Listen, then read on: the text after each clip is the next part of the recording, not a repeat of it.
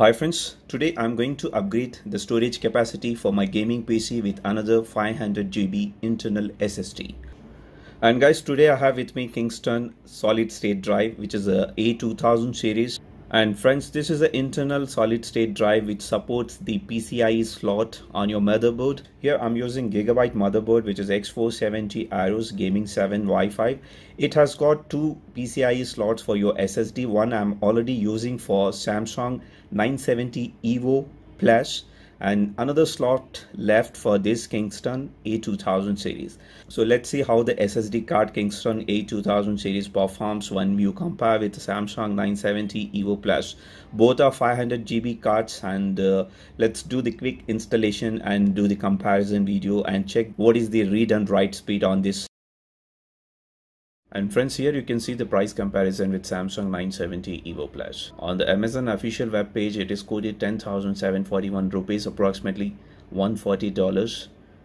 And if you want to go with the Kingston A2000 series, both are 500 GB capacity cards, you will be getting for 7,300 rupees, which is approximately which is approximately $95 and if you see the difference almost uh, $45 between these two cards so let's quickly go ahead and install the card on the PC motherboard and check the write and read speed.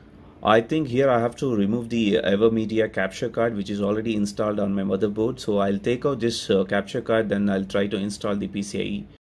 So like I said earlier in my video, this motherboard X470 gigabyte which has uh, two PCIe slots for SSD cards so one i'm already using for samsung 970 evo plus which is right behind my graphic card which i'm unable to access right now. So let's go ahead and install this kingston a2000 series ssd on the second slot which is available. So quickly i'll open this and finish the installation.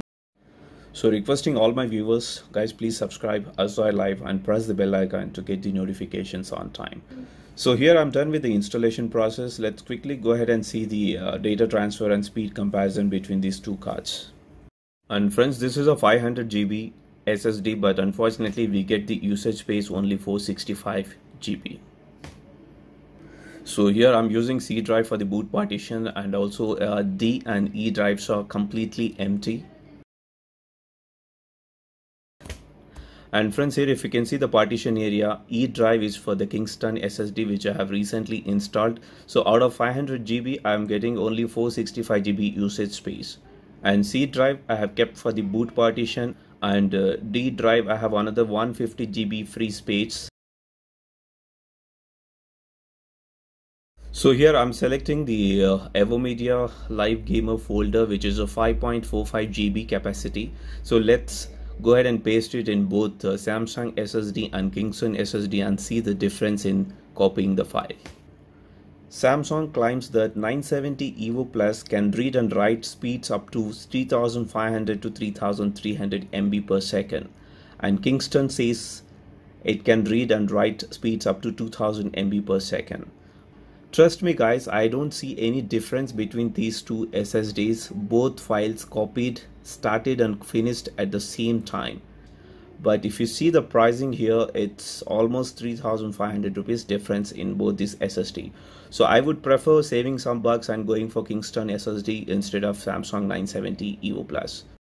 And friends this is your kingston ssd manager where you can register your card and get the warranty in future if required. And also you can check the health and performance of your ssd and friends here you can see the windows 10 boot and shutdown time if you compare kingston a2000 card with some other uh, cards available in the market and friends here you can see the game loading time for Metro Exodus when compared with Samsung, Intel, WD, Western Digital, Crucial and other cards. And here the comparison for the 7GB copy file, write and read time with different cards. Friends, thank you so much for watching this video. I hope you all enjoyed the video and once again requesting all you guys to please subscribe the channel AizAir Live and press the bell icon. So I'll come back with another interesting video. Till then, take care. Bye.